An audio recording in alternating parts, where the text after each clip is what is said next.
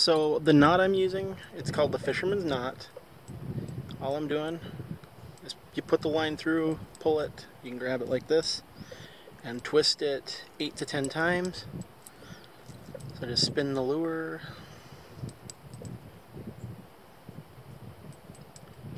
That's 10. Wet your line so that the twists are wet. You don't want to do a dry knot. It'll slip in, then it'll snap. Then slowly grab the other piece of line right here. You can see it with my fingers. And just slowly pull it tight. There you go.